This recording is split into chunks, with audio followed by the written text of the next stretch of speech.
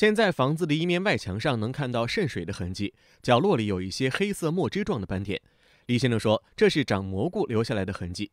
卫生间的情况更加严重，房门和吊顶上有很大面积的霉斑，门框的缝隙里不仅有黑色斑点，还有不少黑色和白色的蘑菇。当时我看到很恶心，我就觉得这个房子怎么会这样？我当时怀疑是楼上漏水，然后我自己看了一下，这个上边嘛又没有这个漏水的迹象，然后我觉得应该是我这个管道啊还是什么问题，我也不清楚。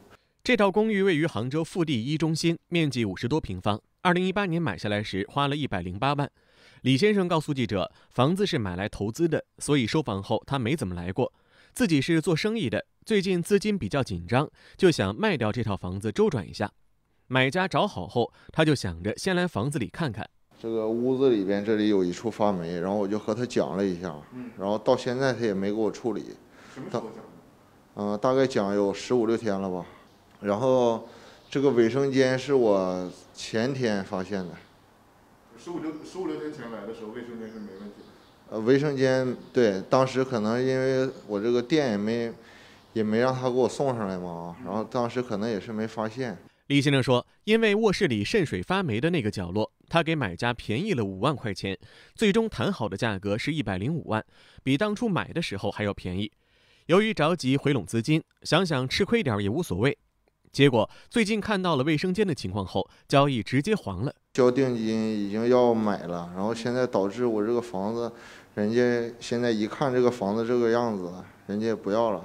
李先生说，他之前跟开发商的防修部门沟通，对方表示可以维修，但需要十五到二十天左右。我现在等不了啊，这个时间，快点给我弄好，然后要么你这个导致我现在没卖掉，嗯，给我一个说法。采访时。楼盘营销中心的工作人员让记者留下联系方式。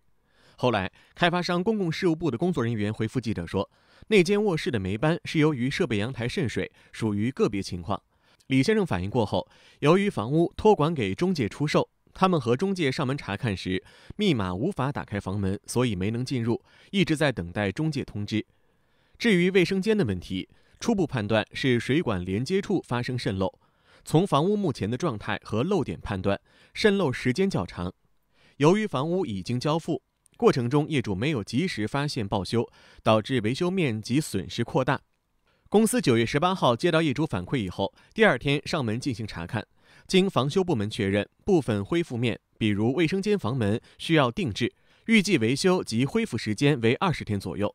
考虑到业主的实际需求，他们会在保证维修品质的基础上，尽可能压缩维修工期。如果维修过程中业主无法居住，公司可以安排过渡房给业主使用。幺八幺八黄金眼记者报道。